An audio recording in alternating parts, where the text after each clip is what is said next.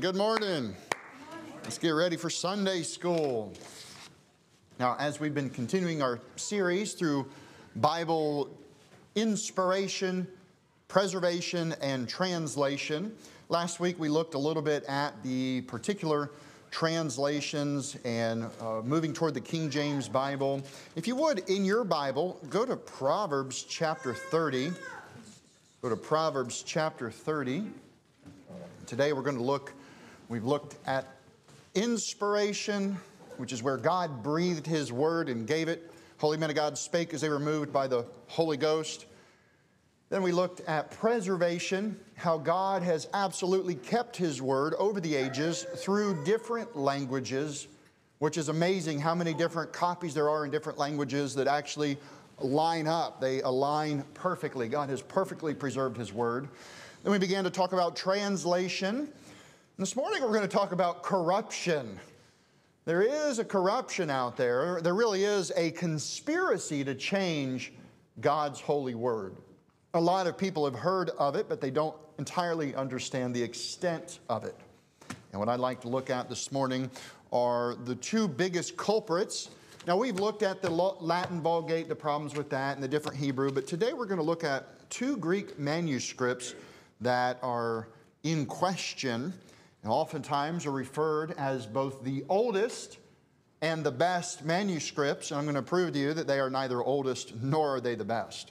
If I could get a couple young men to help me. I, threatened the old men. I said, I don't have any young men this morning. I'm going to get the older guys, the elders, to come help. So they were willing, but good to have you guys with us this morning. Thank you, young men. Make sure everybody gets a copy of that.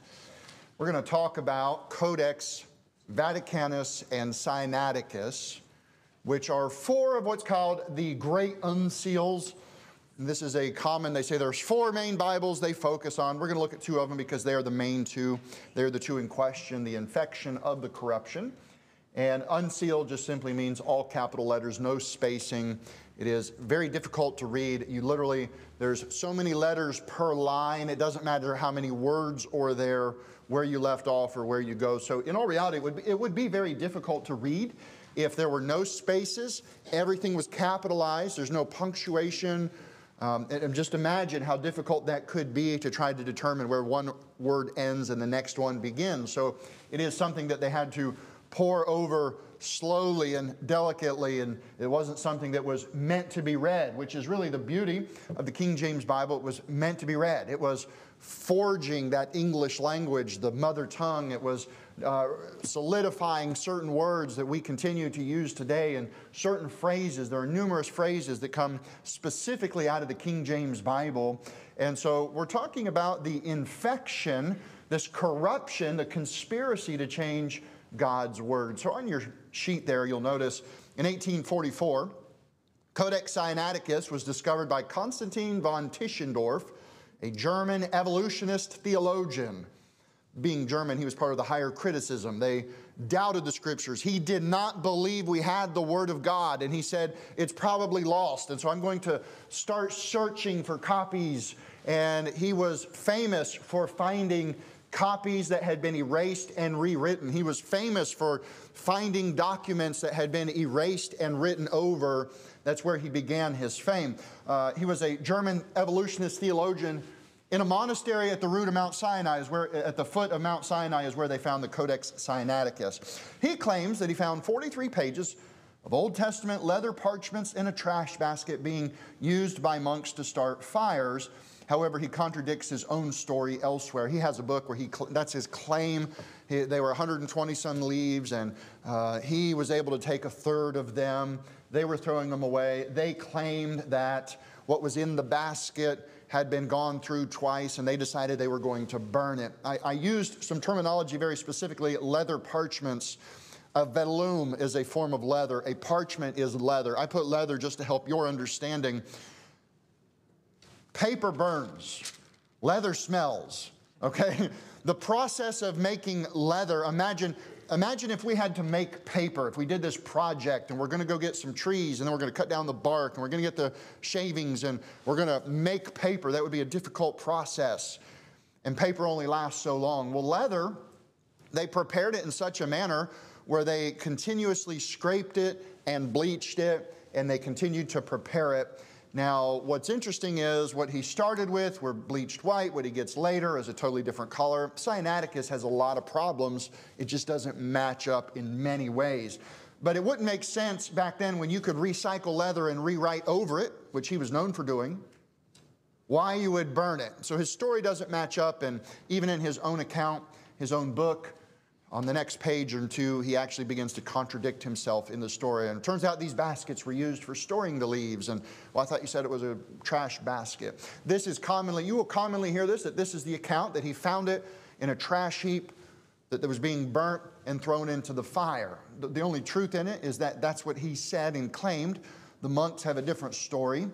And perhaps it's true that they were giving them away, and he ended up with 43 leaves, 43 pages of that Old Testament leather parchment that he claims are in a trash basket being used by monks to start fires. However, he contradicts his own story. The next sentence here there is a substantial evidence that he was lying about the circumstances of the textual discovery. Now, in Proverbs 30, if you will, I had asked you to turn there earlier, Proverbs chapter 30.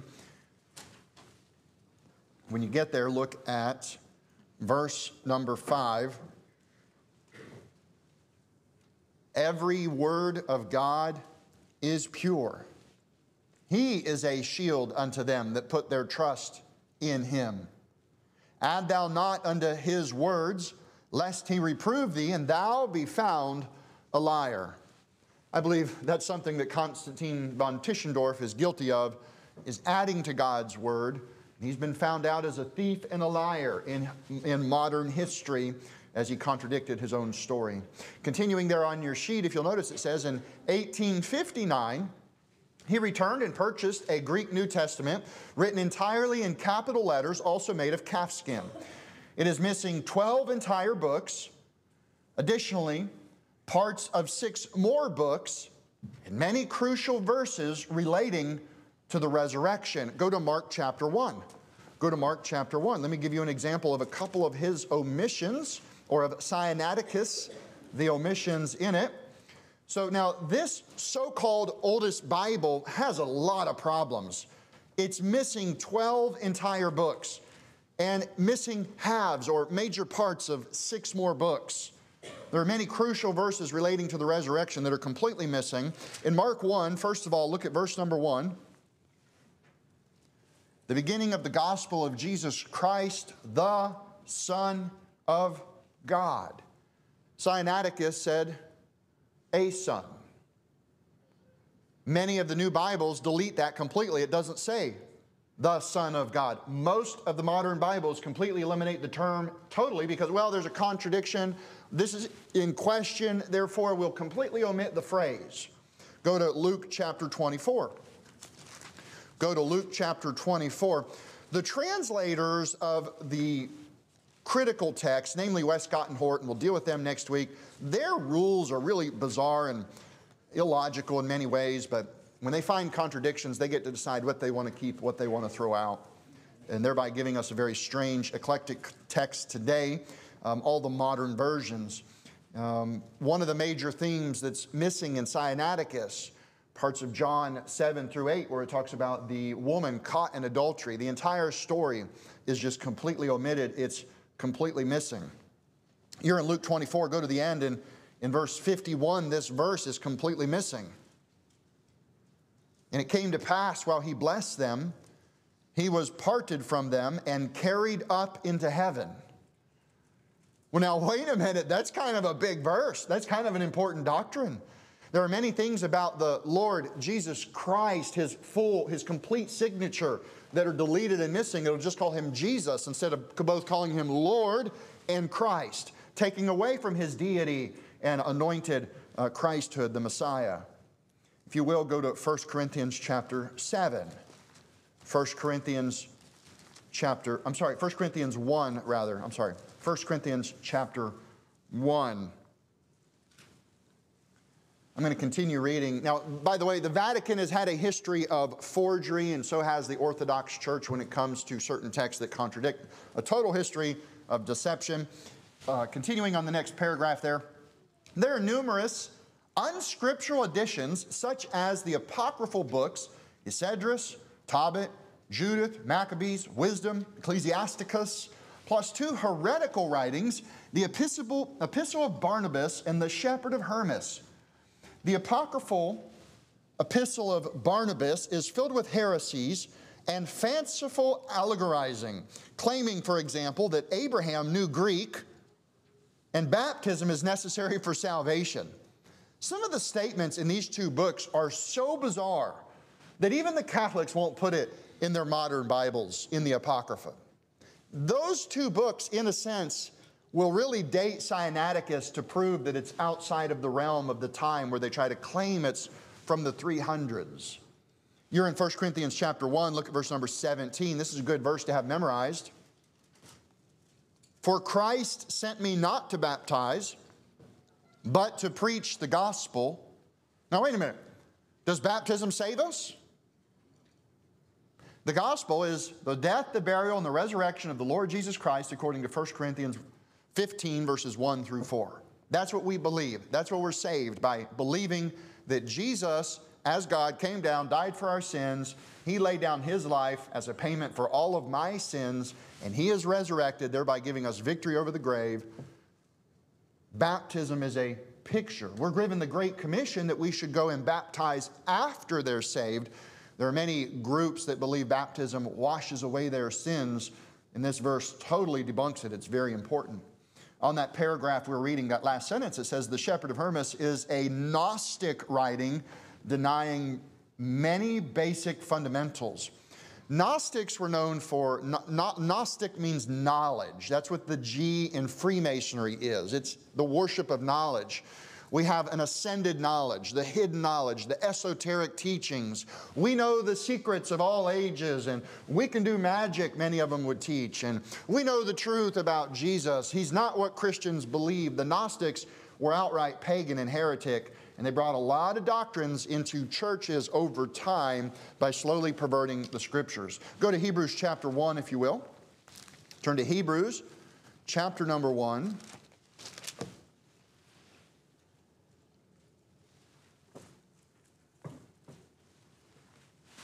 I'm going to continue on that next paragraph there. Codex Sinaiticus changes the order of the Gospels. It's the only Bible ever found that does this. It changes the order that the Gospels are written. It changes the order of the Gospels, teaching Jesus was only a man. It removes the bodily resurrection. It removes the heavenly ascension and adds adoptionism, which is teaching that Jesus became the Son of God at his baptism. This is a big problem in Pentecostal oneness where they say Jesus became God when he was baptized. He was just a man. He didn't rise from the dead. This is called adoptionism. It's an early heresy. You're in Hebrews chapter 1. Look at verse number 8. But unto the Son he saith, Thy throne, O God, is forever and ever. A scepter of righteousness is the scepter of thy kingdom. God the Father said to God the Son, Your throne is forever. God is forever. He said to the Son, Your God and your forever. There are many more verses that support that, but Hebrews 1 8 is a fantastic verse that debunks a lot of the misconceptions from the early heresies. Continuing in the next paragraph on your handout there, Sinaiticus is filled with alterations of an obviously correctional character brought in by at least 10 different revisers. And this number comes from many of the uh, paleographic scholars over the ages that have looked at it. They understand writing and literature and paper and vellum, the leathers. They understand all this stuff. And many of them have identified seven. Others have identified at least 10 different authors that have modified or corrected Codex Vaticanus over different ages, different inks at different times with different dates. Up to 10 revisers it is plain that this codex bears upon its face the most incontestable proof of its corrupt and deceptive character. On many occasions, 10, 20, 30, 40 words are dropped through very carelessness. The impurity of Codex Sinaiticus is recognized in every part of it. Some textual experts date the alterations and deletions to be from a 7th century reviser. Others have set forth a date of fabrication in 1839 and see it as completely fraudulent. That seems to be among the textual, um, not the critics, the, the, the um, textus receptus crowd, the uh, traditional text, when they compare it to all the other things, the things that are going on with it, they see that not only has it changed over the ages, it has different sheets of paper, different color, different color inks, different handwriting styles, things that are clearly erased. And they say, well, this is the oldest Bible, and therefore it's the best. I often use this understanding. This Bible, I've had it for about 20 years, and I had to recover it. I used to call it my loose leaf edition. I would open it up and, you know, a, a, book would fall out. And, oh, hold on, let me grab that. And I loved it so much, and it's a super giant print, so I can see it from real far away. And so I, I sent off and I had it recovered, and it was a good investment because I love this Bible. I have other Bibles sitting on my shelf that are practically brand new and yet way older than this because it's a false Bible version that I don't use the age of Sinaiticus is debated. It's the oldest, it's from 325. We think Constantine himself um, had it, you know, he, he's the one that chartered it. Can't be proven through history. It has many problems just in the fabric and the makeup and the language, the writing, the style, the editions of books that couldn't have existed back then. There are many problems with it, but every mainstream Bible when you go to the bottom, certain passages, like where they take out 1 John 5 7, Luke 4 4, certain things they take out, you go to the bottom and it says, some of the older manuscript or, or other manuscripts have it, or they'll say the best manuscripts don't have it. And what they do, they'll word it differently ways, but they're trying to cause doubt to the Word of God. Some Bibles completely remove it, others will put it in brackets and then put a, a you know, well, hey, by the way, that shouldn't be there. We don't think it belongs there. And that's what happens with Mark 16. Go to Mark 16 if you would. Go to Mark chapter 16.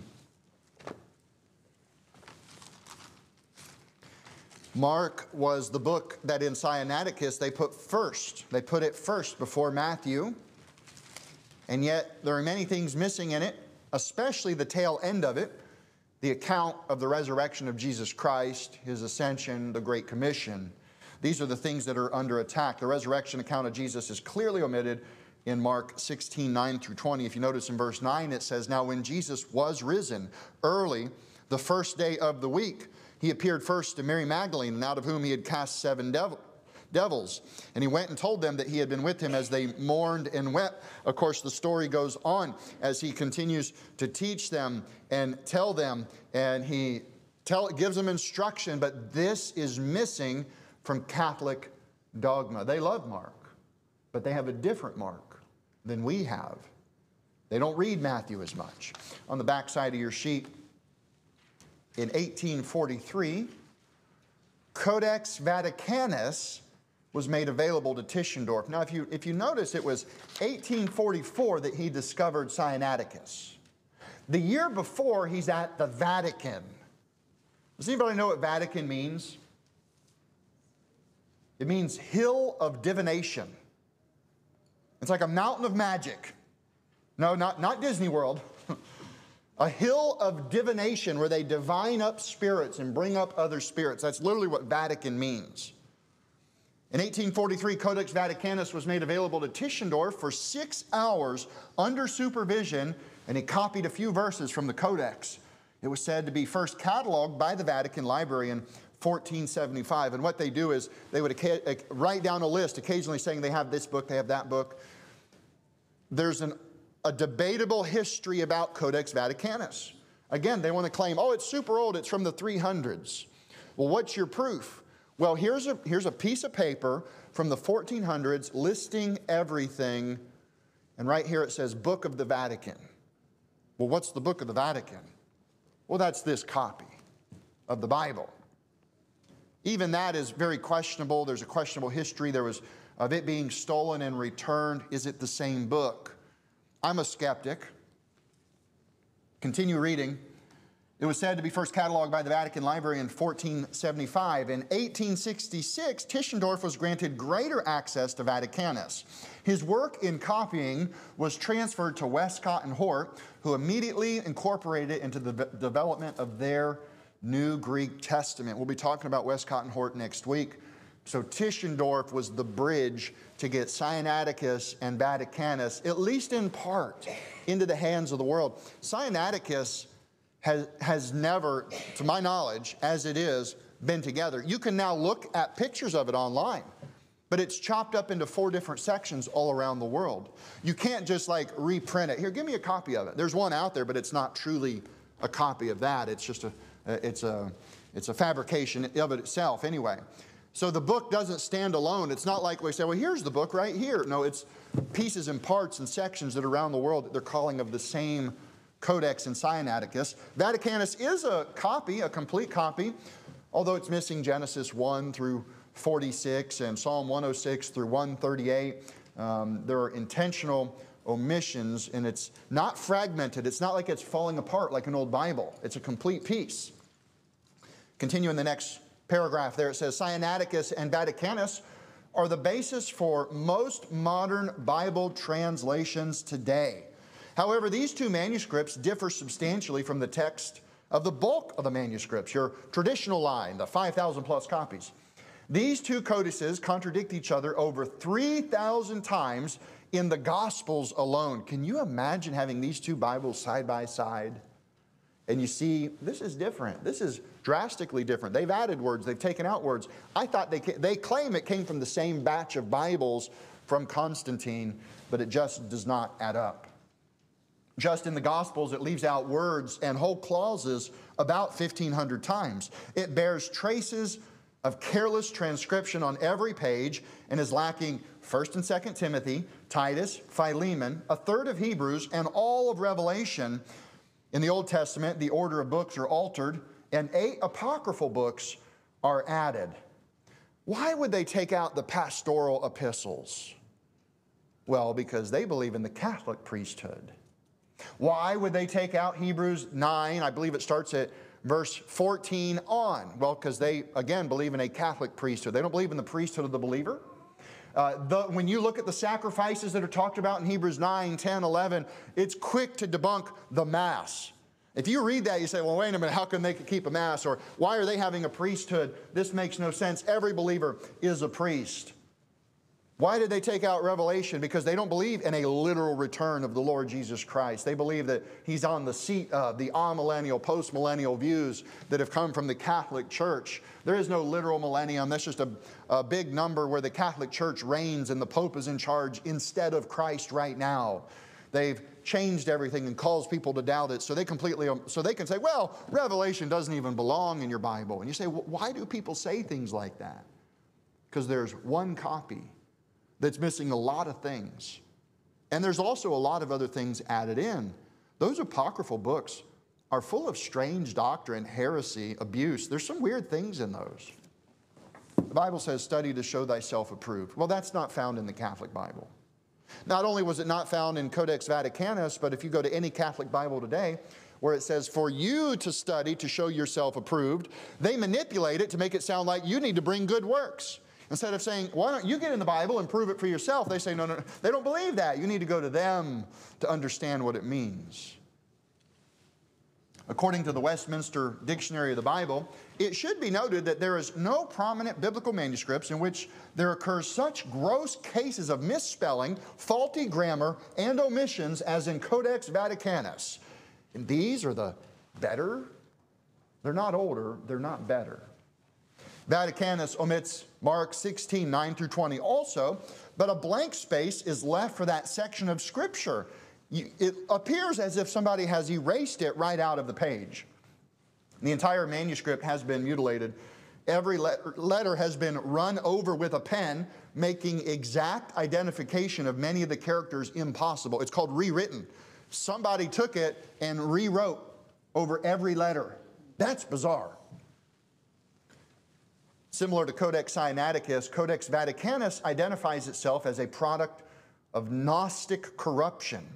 In John 1:18, where the only begotten Son is changed to the only begotten God. Do you see how that's, do you think Jesus Christ is a created being, or do you believe what the Bible says that he is the creator? Because those verses are under attack in every major Bible. Linguistic scholars have observed that Codex Vaticanus is reminiscent of classical and Platonic Greek, not Koine Greek of the New Testament. All of the biblical omissions in the new versions reference reference, so your new Bible, you go buy one today, will reference the older and best manuscripts. However, Sinaiticus and Vaticanus are neither older nor better. I gave you a list down there at the bottom to help you understand some terminology. The corrupted Bibles use the Alexandrian. What we have in the King James uses the Antioch. It's also called the critical text because it criticizes the traditional text. It's called the minority text because there's only a few compared to the 5,300 copies of the majority. It came, it's an Egyptian text versus our, uh, there's a Byzantine text that's identical to the Syriac, the Peshitta, the Old Latin, the Gothic, all the other translations that we have. Commonly called the Textus Receptus or the TR, meaning the received text. I like the word traditional text. I have a traditional Bible. It's the same that it's always been. They don't. They have a new Bible that is critical of what God has already given us. I end there with Jeremiah 23 For ye have perverted the words of the living God. I do thank God that we have a perfect copy. And as many fake versions as they print today, they can't change mine and they can't change what I've memorized. However, when somebody walks into a bookstore and they say, Well, I need a Bible, well, the Bibles are over there. Can you imagine going over there? Oh, a Bible, Acts chapter 8, verse 36, verse 38. Excuse me, sir.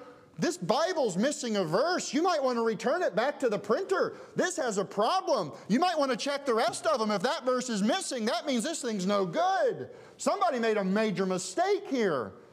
Oh, no, no, no. The well educated scholars that are tied to the Catholic Church, they've decided we don't need that verse. There really is a conspiracy to change God's word. There is corruption. We're saved by the incorruptible word of God. There is a corruptible word of God that perverts salvation and changes it and tries to turn grace into works. And I thank God, hey, we can trust Him and His word. Every word of God is pure. He's preserved His words, and we can have great faith and what He's given us. So I hope that's a blessing to you. Let's close in prayer. Dear Heavenly Father, I love you so much. I pray that you would help us to continue to learn more about you and your word and have confidence in you. We love you. We ask this in Jesus' name. Amen. You are